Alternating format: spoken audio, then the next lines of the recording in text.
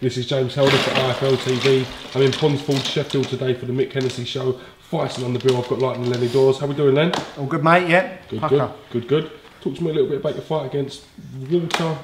Uh, pronounce this one for me, Len. Sylvester Walczak, I think it was, something like that. Um, yeah, strong kid, tall, rangy, um, very awkward at times. Um, when I was catching him, he was hanging on to me, so it was very a very frustrating fight. But again, as you say, it's good to get the rounds in. Um, yeah, good workout. This guy's ranked a couple of places ahead of Eric Malik, who you fought last time, another Polish fighter. Smashing up the whole opponent, going through Poland, you know. Well, no, yeah, they're going to come and have a good go, ain't they? So, yeah, no, it was good. Someone different, someone taller than me that I've very rarely come up against. Um, so, yeah, different tactics. Um, but yeah, happy with the way it went. Um, won every round, so yeah, a good, good, clear win there. Did you feel comfortable in there, Len? Yeah, yeah, as you say, I, I need the longer fights to be honest. I'm just getting on top of him. I wobbled him a couple of times in the last couple of rounds. Uh, but again, he hung on, survived, got through it. In the seventh, he looked like he looked like he was going to be out there. He was rocking, grabbing. Yeah, on, yeah, as you say, he was, he was running, he was twisting, he was gripping me and holding me. I just could not shake him off to clearly get him. But yeah, as you say, I shook him up a few times. Uh, but yeah, again, it's all, learning, blowing the cobwebs off and uh, on to bigger and better things hopefully now.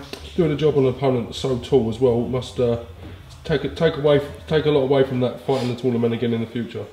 That's it, yeah. again, You know, I'm always fighting shorter guys, going to come in with the head and that. Um, but yeah, as you say, I- I'd say he was good six foot, you know what I mean? So it was good good to be moving around with people that and handling them easy because they're going to have longer arms than you. Uh, but yeah, a good comfortable win there. Uh, I spoke to Mick Hennessy. We spoke about this before. He said potentially a couple of fights away from a title. We've now had them couple of fights. This being the third one. Uh, Tony Pace and Eric Malik wins respectively. What will you sit down and talk to Mick now and try and plan some kind of some kind of date? Hopefully, yeah, yeah, we're going to get some get some title fight sorted. Um, he's got a big show. He's talking about September. Hopefully, we can do it then. Um, Do you think that's enough time to get something sorted out? yeah, I would have thought so. Yeah, so um, we're looking towards that. Have a little rest now, and then uh, back in the gym and uh, firing on all cylinders for September. If I can bring in trainer Ian Burbridge, how are we doing, Ian? Yeah, good, mate. Yeah, good. Good. Pleased. How would you assess Lenny's performance? It was good. I mean, it took time to get used to the opponent and everything else. He was so he was so so awkward, and we knew he was going to tie him up. We watched him a fair bit and did our own work on him. Um, but he was even more awkward than he looked on the YouTube. But no, once Lenny got into his rounds, sort of five, six, seven on, um, he was starting to get to him a little bit, and we just wanted Lenny to throw the right hand a little bit more. Um, he was just holding it back a touch, which we just wanted it to go. Once that went, other shots came off of that. So no, we're pleased. A shutout against someone really awkward. That's all good. Ref gave Lenny every round. Think that's a fair assessment? Yeah, I do. Yeah, I mean the other boy was holding on, and he sort of caught Lenny a couple of times when Lenny stood still. But um, no, overall, no, it's, it's, it's a fair assessment. It's a good win. So no, well pleased. Lenny's talking about September, potentially some kind of title shot on the cards. So that must again fill you with a bit of optimism. Oh, for sure. No, it's, it's, it's you know, Mick's delivered. He sort of said there's something in, on the offing for us. So, you know, we've had the three fights to warm it up, and now, you know, we're looking for something for that in September, and you know, I'm sure Mick will sort it out. I can hear someone creeping about behind me. Oh, hello, Mick. How are you? All right? Good, James. I'm Good, all right. Good, good. Talk to us a little bit, Mick. We're Not so much creeping. I haven't done. I haven't.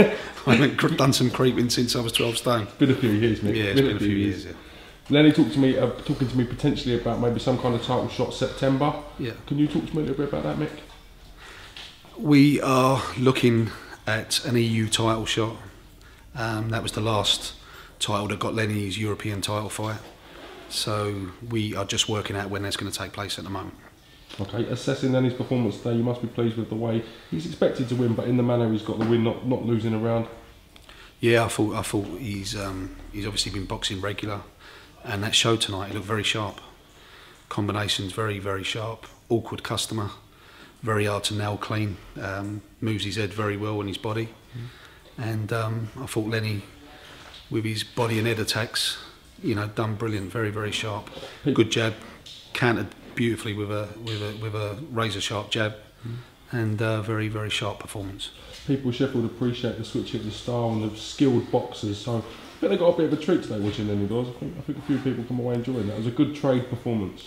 I know Brendan Ingle, um, who was sat next to me, really enjoyed the fight. He was intrigued by it, so uh, you know it was a good, good fight to watch, and uh, you could see that that that kid's, you know, I think he's already took one unbeaten uh, prospects record. So um, you know, you've as as a certain fighter says, records are for DJs, and um, that kid proves it. Is he here, Mr. Record for DJs? Is he no, he's not here at the moment, but um, he's, he's he's here with us in spirit. Indeed, indeed. Last word to Lenny Daws before we sign out. Um, just yeah, no, happy with the performance. Um, as I say, I didn't have many fans here tonight. They never couldn't make it up here, so uh, just thumbs up to all you lot. You know what I mean? And bigger, bigger and better things are coming. Thanks Cheers, for giving me a bit of time then. I appreciate it, mate. And we'll talk to you real soon. Thank you. Thank you, mate. Cheers.